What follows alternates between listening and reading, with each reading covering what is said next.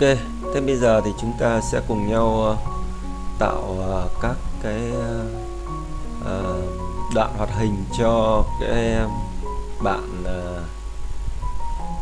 bạn Mario của chúng ta nhé. Đầu tiên thì ta sẽ nhấn chọn vào Mario, chọn tiếp vào cái Animation trong này thì ờ, nó có một cái nút ờ, nút grid này. Chúng ta chọn vào nút grid sau đó chúng ta sẽ tạo thêm một thư mục nữa gọi là thư mục animation.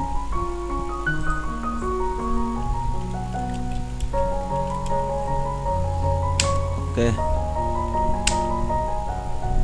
À, tạo thêm một thư mục nữa là thư mục radio Rồi. Ờ. còn bây giờ thì ta sẽ thiết lập các trạng thái cho Mario. Ở đây là nhỏ đứng. À, lúc này là bạn ấy đang đứng. Ta sẽ chuyển sang phần project này chọn vào chuột graphic mở ra đây Mario đứng ta kéo vào. Đó. Không áp dụng một cái hoạt động gì cả bạn đang đứng là không có hoạt động gì. Tiếp theo nhấn vào cái phần uh, animation này ta chọn tiếp một cái clip new clip. Đấy. À, đây là nhỏ chạy từ vào.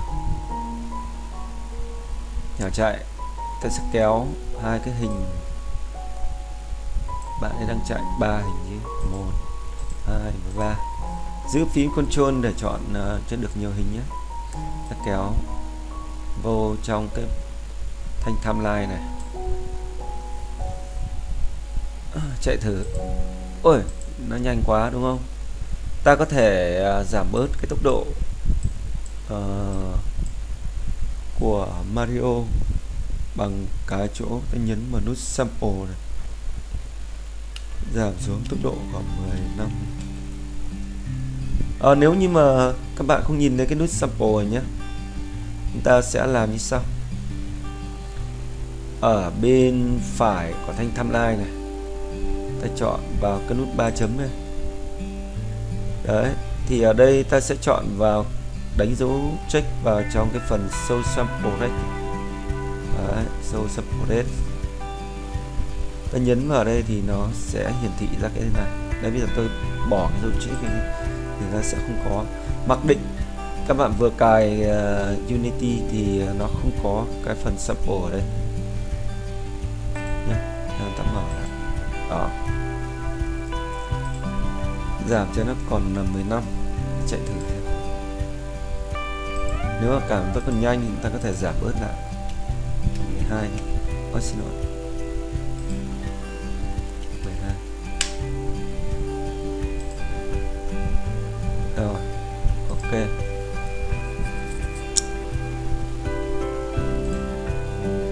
Và bạn uh, hãy chú ý đến cái cái bóc collider này. Cái bóc collider này nó vượt qua cái đầu của bạn Mario này mình không thích nó như thế vậy. Đó, chúng ta có thể sửa được nó. Đây thì là vừa này. Bắc collider ở đây thì là vừa. Ở phía chiều rộng này có vẻ là hơi to hơn một chút. Đây thì cao hơn rồi. Đó. đây thì lại rộng hơn quá. Chúng ta sẽ sửa như này. Ta nhấn vào cái cái cái cái timeline đầu tiên. Ta chọn vào cái hình dấu đỏ đây.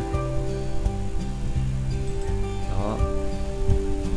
Và chúng ta sẽ sửa ở trong cái phần này.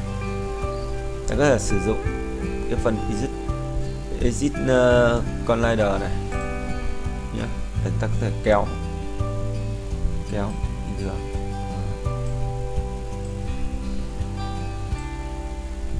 đó. Đến cái cây frame này đây thì cần rộng hơn và nó thấp xuống đúng không? Ta có thể chỉnh sửa đây phần rộng hơn đây. Kéo cho nó rộng hơn. À nó lệch đi. Hay là lệch đi xin lỗi. À, sai đấy mà. Đây rộng ra. Đó.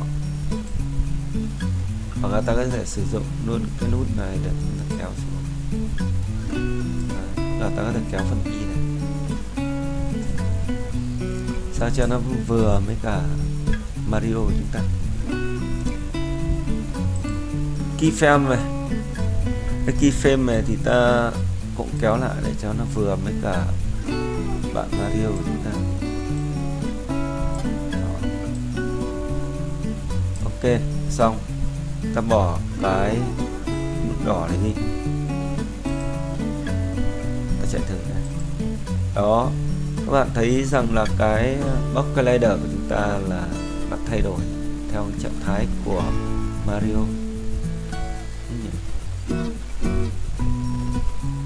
Rồi đây là bạn ấy chạy. Tiếp theo.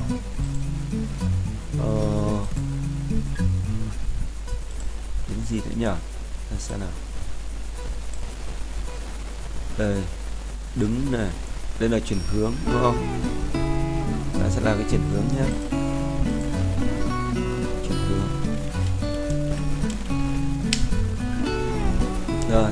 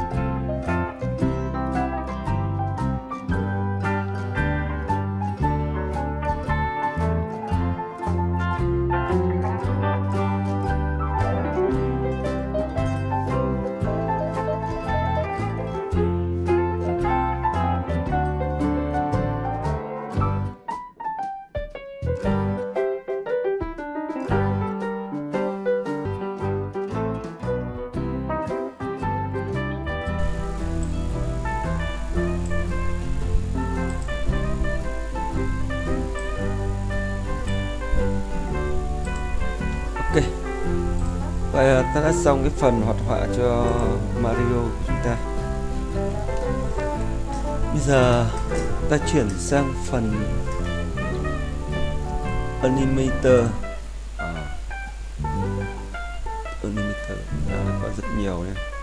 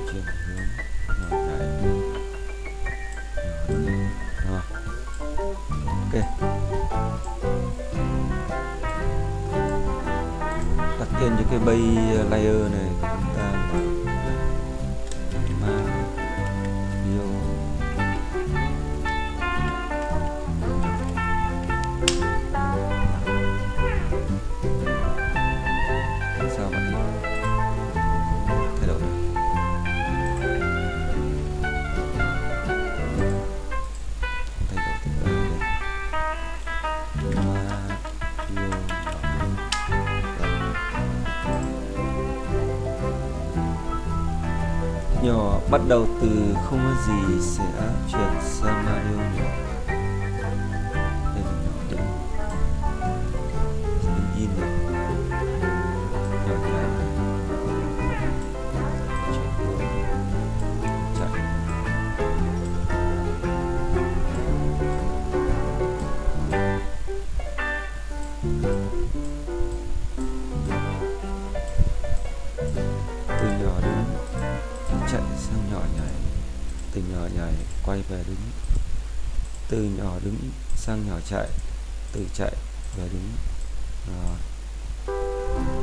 khi nhỏ chạy thì chuyển hướng quay trở lại. Chuyển hướng quay trở lại. Thấy thiếu cái gì không nhỉ? Chạy, nhảy. Chuyển hướng. Ok, từ nhỏ nhảy về mới là nhỏ chạy. Từ lúc đang chạy, quay lên nhảy ok rồi đấy. Tôi nghĩ thế là được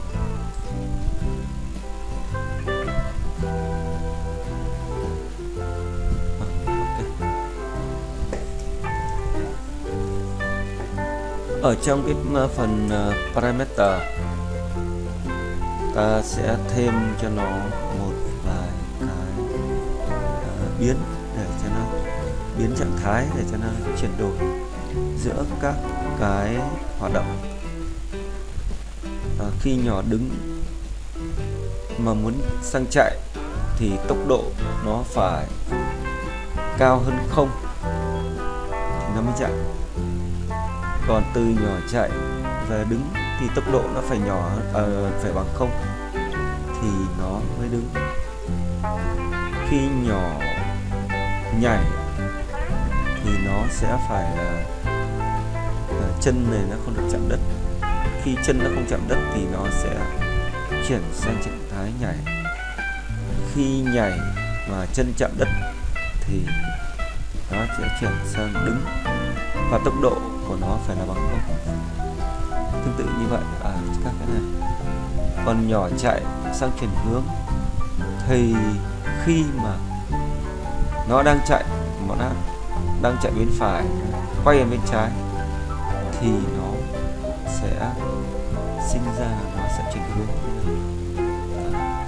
nhảy cũng vậy. Đang nhảy lên bên phải nhưng mà nó lại chuyển hướng sang bên trái chẳng hạn thì nó sẽ có cái hình như này.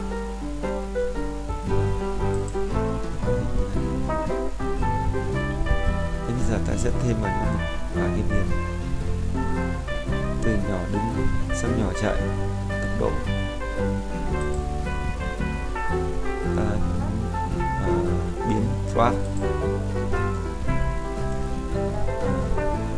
Tốc độ. Là tốc độ chạy tốc độ nó lớn hơn không? Thì nó chạy nó chuyển trạng thái sang nhỏ chạy Đấy. từ chạy nó lên nhảy thì nó, tốc độ của nó vẫn phải đang lớn hơn không? Nhưng mà nó khác một cái là chân nó đang ở mặt đất. Là không ở mặt đất, đúng không? Ta sẽ có thêm cái nữa boom biến này sẽ chứa là nó đang ở dưới đất hay không? Dưới đất. Trên biến này nó là bên dưới đất. Nếu đang ở dưới đất hay là không ở dưới đất. Thêm một cái biến nữa là biến chuyển hướng. Nó đang chạy mà nó chuyển sang bên trái ngay. Thì xem là nó có là đang chuyển hướng hay không tốc độ nó đang cao thì mới chuyển hướng. Còn nó đang đứng thì nó không chuyển hướng thôi thì nó không cần được cái hình chuyển hướng. Ta có thể thêm một cái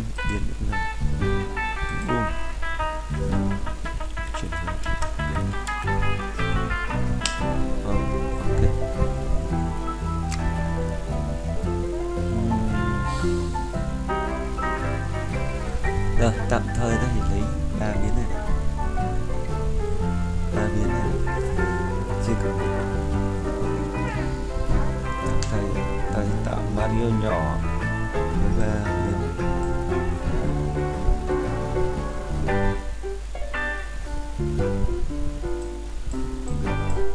Rồi, thế bây giờ chúng ta sẽ viết câu lệnh cho Mario. Ta sẽ viết lệnh cho Mario. Đây các bạn thấy ở đây này. Tại sao nó như thế này? Bởi vì là ta mới viết biến thôi mà ta chưa gán một cái gì vào đây cả. Đây này. Thế là nó không hiểu đây là lúc này tốc độ. Đang bằng không. Đang ở dưới đất. Mà nó cứ quay đây. Bạn nhìn đây, luồng này. Đó. Thế là làm cho chúng ta này, đang đứng và nhảy. Trạng thái nhảy đứng. Và nhấp nháy như này. Vậy ta sẽ phải thêm vào đây cho nó cái biến nhé.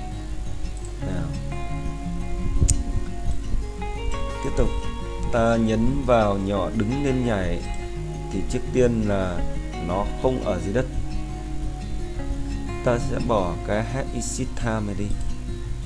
Đừng để cho nó có cái thời gian chờ. Thằng này, để cho nó bằng không. Để cho nó không có thời gian chờ. Nghĩa là ở đây nó sẽ chờ cho hết cái hoạt động này nó mới nhảy. Cho nên là nó bị một cái thời gian trễ rất là lớn. Người ta bỏ hai cái thứ này đi. Từ nhỏ ở à, nhỏ đứng sang nhỏ nhảy thì nó không ở trên mặt đất và tốc độ nó là bằng không. Tốc độ. Đây là tốc độ lớn hơn không và tốc độ nhỏ hơn không đúng không? Vậy tốc độ ở đây sẽ là phải là nhỏ hơn 0.001 0.1 0.01 nghĩa là nó về cái vận tốc nó phải bằng không cái tốc độ này nó phải bằng không thì nó đang đứng nhé và nó không ở dưới đất nghĩa là nó, chân nó không đang chạm đất thì nó mới nhảy được. Đấy. chọn dưới đất. Dưới đất bằng chu thì là không phải mà phải là bằng phô. Nên là nó không ở dưới đất thì nó nhảy bây giờ cũng ngược lại như vậy.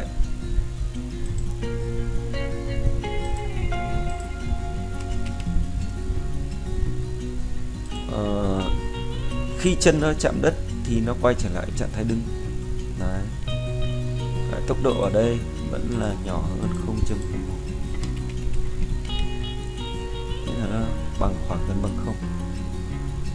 Tiếp theo ta thêm cái biến nữa là biến dưới đất bằng chu nghĩa là đang ở dưới đất. Đấy, thì nó sẽ về đứng. Thế thôi là cần hai biến này thôi đã.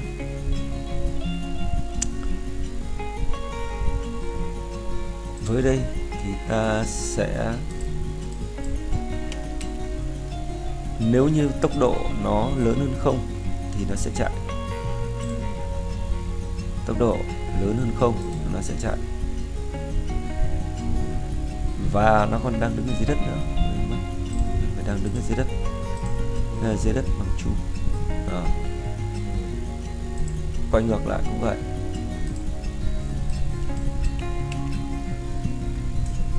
Từ nhỏ chạy về nhỏ đứng thì tốc độ nó phải nhỏ hơn không? À quên nói, xin lỗi, tốc độ nó phải gần bằng không? Tốc độ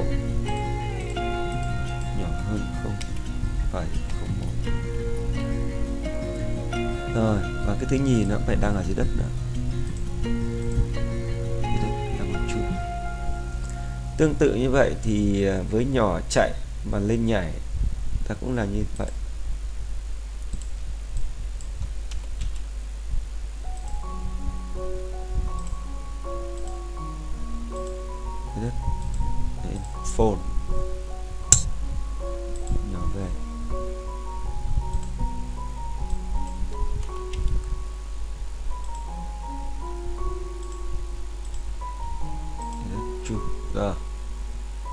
Chuyển hướng.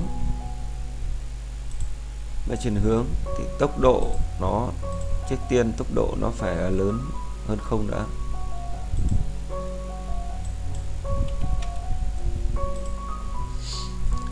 Trước tiên tốc độ nó lớn hơn không. Nhưng mà tôi không thích là nó chuyển hướng như vậy. Mà tôi thích nó chuyển hướng là khi tốc độ của nó phải lớn hơn một cái vận à, cái tốc độ nó phải lớn hơn một cái cái số nào đó giả sử như là lớn hơn hai. Tốc độ nó phải lớn hơn hai thì nó mới chuyển hướng còn nhỏ hơn hai thì chưa cần thiết phải chuyển hướng đúng không? Đấy, lúc này ta phanh nhé ta đang chạy ta chạy nhanh rồi ta bỗng nhiên ta chuyển hướng đi thì đôi khi ta mới có một cái cái lực của chúng ta vẫn còn như người chúng ta vẫn phải nghiêng về phía trước một chút xíu. Đấy, đúng không? Tốc độ nó nhanh chứ còn nếu như ta đang đi bình thường ta đi người ta quay lại thì nó không bị bị bị bị ờ, với lắm đúng không? Cho nó bằng hai. Tốc độ phải lớn hơn hai. Và cái quan trọng là nó đang ở dưới đất. Ờ, chuyển hướng cũng vậy. Hướng về mới đang chạy. Cũng vậy.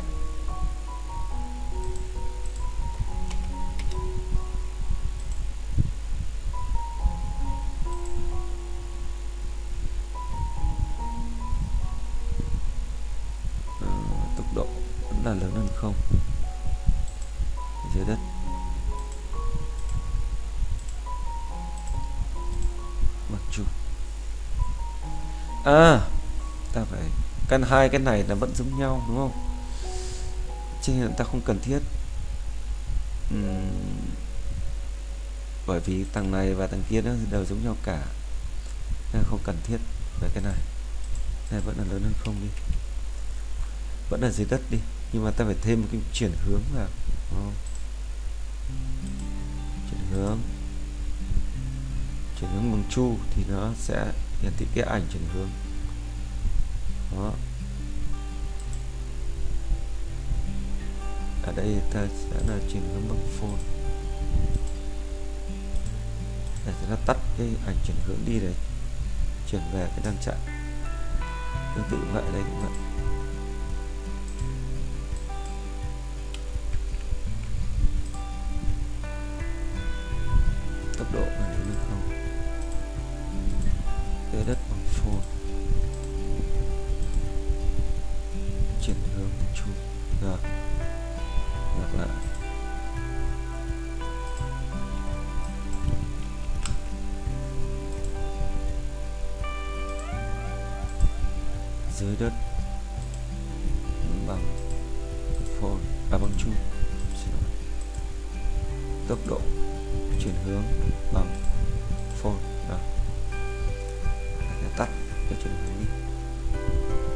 Ok.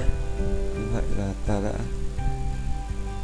hoàn thành xong cái phần animation à, animator. Ta từ lại. À, lúc này là cái con của chúng ta nó lại nhảy sang nhỏ nhảy. Có mỗi hình ảnh nhỏ nhảy. Thì là vẫn không được đúng không? mà hiện tại giờ tốc độ nó bằng không mà. Cho nên là con này nó phải đứng đứng để thể chạy này được à nhảy này được. Để xem lại một chút xíu nhá, chắc chắn là có một cái lỗi nào đó. Nhỏ đứng. Tốc độ nhỏ hơn.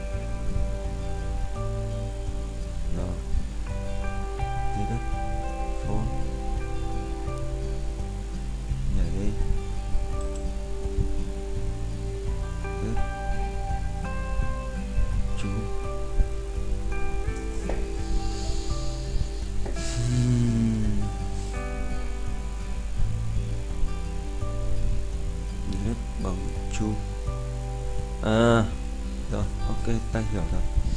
Vì là ta chưa viết lệnh cho nó Đâm ra là nó cũng không biết là Đang là chu hay phone ở cái phần dưới đất này. Rồi ta sẽ viết uh, Mã script cho nó nhé. Viết mã script cho nó.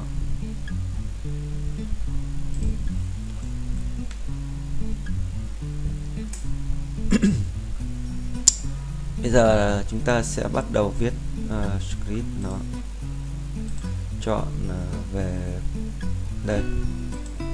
Chúng ta sẽ thêm vào đây một thư mục thư mục nữa script. Rồi. Trước tiên thì chúng ta sẽ thêm vào trong cái resort này một từ mục nữa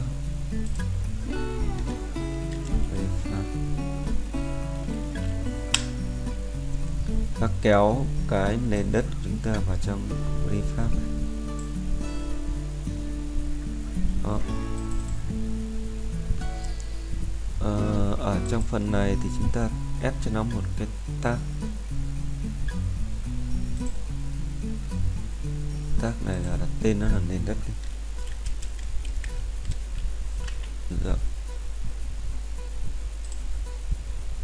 Chọn cái nền đất này là nền đất. Rồi. Cái thứ nhì là bạn Mario này của chúng ta ép cho bạn đây cái tag player.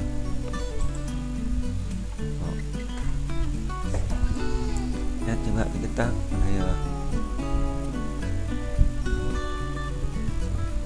Nên bây giờ ta cũng chưa viết lệnh được đâu. Bây giờ ta phải cần có một cái, ta phải thêm vào cho bạn này một cái ờ, con này. cái con rider này, nó sẽ nó sẽ kiểm tra xem là mình có va chạm với cả nền đất không. Nếu mà nó có va chạm nền đất, có nghĩa là bạn Mario đang đứng trên cái nền đất này mà bạn đang đứng trên nền đất này có nghĩa là bạn đang ở dưới đất. Đó đang ở dưới đất này. Nên ta sẽ thêm cho bạn này một cái oh, con này nữa nhá. Thực ra thì không cần bóc con này đờ ta chỉ cần kiểm tra xem là cái cái tọa độ ờ, dưới này của Mario có chạm vào nền đất hay không là cũng được. Nhưng mà như thế thì câu lệnh chúng ta hơi phức tạp hơn một chút. Nên là tạm không cần thiết. À, tạo thêm một cái box collider. À, thêm một cái collider. Bạn có thể chọn bất kỳ một cái collider nào tôi chọn circle bạn thích chọn cái nào cũng được nhé hình vuông hình tròn là được. À, thay đổi cái cỡ cho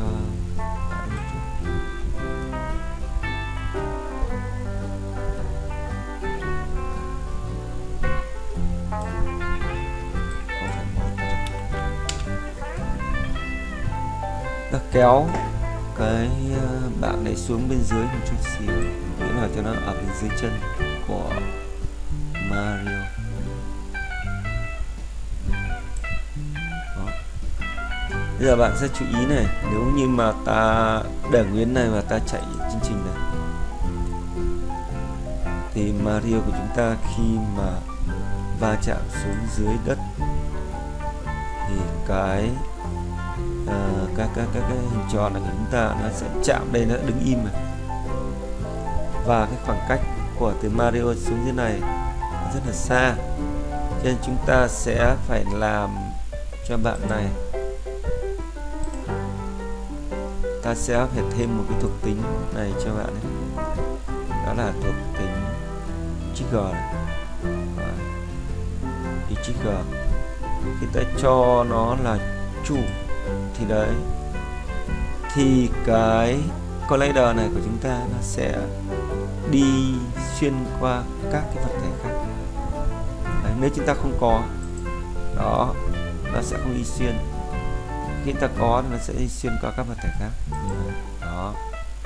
Giả sử như vario đang đứng ở đây bây giờ nếu như mà ta đặt cái collider này cũng là xg thì bạn này bạn sẽ rơi xuống dưới. Đó, đi xuyên qua mất rồi. Là không được, đúng không? Đấy, ta sẽ chọn vào đây. Sẽ bảo đi xuyên qua. Được chưa? Đấy, bây giờ ta sẽ viết lệnh sao cho cái cái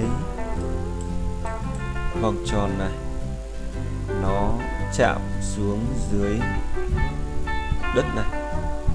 Thì nó sẽ nó sẽ ờ, báo về cho cái animator này của chúng ta là biết là tôi đang ở dưới đất.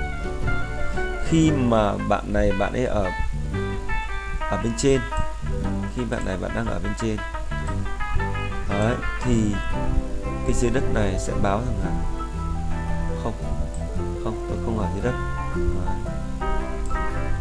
Nhé nhá. Bây giờ ta sẽ viết script cho nó này.